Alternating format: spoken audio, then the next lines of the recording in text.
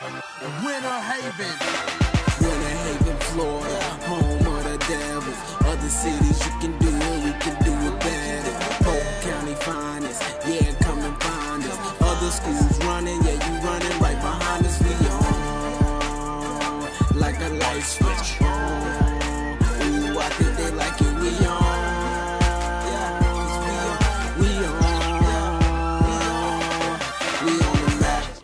Hello, my name is Gina Williams and I'm the principal of Winter Haven High School. Welcome to the home of the Blue Devils. I would like to give you information because this is our virtual orientation. We will have temperature checks throughout campus. Uh, we will have different classrooms randomly selected to be temperature checked each morning. Uh, we also, custodians have uh, different sanitizing times that they have to come through and sanitize the desk and also the water fountains. There will be signage throughout campus letting students know how they are to walk on campus. The inside stairwells will be used for only going downstairs and the outside stairwells are only to be used to go upstairs to the second floor.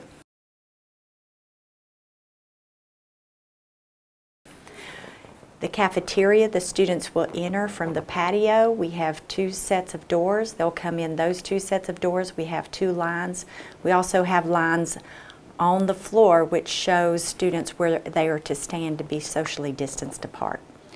Also, they will sit three to a table, all facing the same direction, but they will be separated. They will also be allowed to eat outside, but they will also be distanced from each other.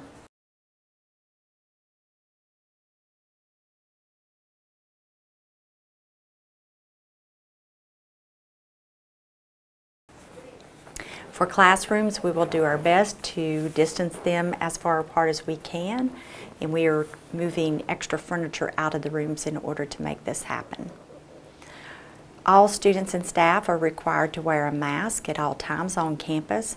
The only exception would be physical education when they are outside. And we will base this on the district's code of conduct and what their policies are for wearing masks. ID badges are also to be worn throughout the school day, anytime on campus. We will have those available if they are a student and they had their yearbook picture taken. We actually have an ID for them if they were our student last year, and we're going to give those to their first period teachers.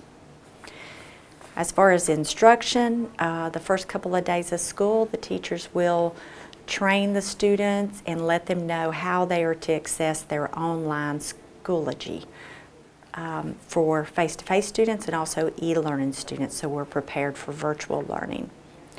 School supplies, the first week of school, I would only worry about sending them with paper and pencil or pens, and their teachers will let them know what they need if they need anything additional than paper and pencil. The dress code is still in place. Um, of course, wear IDs, but the only addition is the mask. They do have to have shirts with sleeves. All skirts and shorts must be to the knees, whether you're a boy or a girl. And uh, all holes have to be to the knee or below. We don't want to see any skin above the knee. If you have a hole but it does not show skin, hopefully there's a covering, then uh, we're not worried about that. But we do not want to see skin above the knee. No, no, no, no. Y'all got to get back in. Morning, girls. So nice to have you. Welcome. On orientation, um, well, first day of school, your your schedules should be available to you online uh, through your student portal. We also ask if you are a parent that you make sure you go into parent portal and that you check uh, emails that you would like to receive emails. Therefore, you will be able to receive your child's report card, I believe, through this email address. Room numbers, uh, just to familiarize yourself with our campus. Each um, building is numbered and the building number is posted on the building. And of course, our building numbers are 1, 4, 5, 6, 21, 25, 26, 33, 34, 35, 36. The next number is either going to be a 1 or a 2. 1 means you're downstairs and 2 means you're upstairs, but the first number is always the building number and that's going to give you a, uh, a good idea of which way to go. Uh, the drop-off and pickup areas would be in front of 34. Uh, so if you're dropping off your student, you can uh, turn in from Avenue K by the baseball field and you will circle around 34 and drop off your student or pick up your student in front of 34. The other area would be in front of the gym. Parking, if you uh, need your parking decal, you would need to email Gina Sia or call Gina Sia to set up an appointment time in order to receive your parking decal. You will need your driver's license and you need your vehicle registration form and also uh, your ID. Office, um, all meetings are scheduled by appointment only and for the first, my understanding is nine weeks of school, all conferences are only done virtually. So um, you would have to call and schedule those appointments. At least that's the information I have so far. Communication, we do show our Blue Devil television program during fifth period every day and majority of our information is given through BDTV. A lot of times there will be um, a link on Facebook or the website. Um, I'm also, um, sometimes we'll send out information through Remind from time to time, but we do, they do have their programs on YouTube. We also ask that you join my uh, Remind page. You would text 81010. If you're an underclassman, in the message box, you would type in the at symbol. It would be at WHHS UN, as in Nancy. If you're a senior, in the message box, you type at B, as in boy, H6B, 6B. Therefore, you will receive messages from me that I feel that are important to you and also for seniors. Those are specific messages for our seniors. E-learning students cannot be on campus during the school day.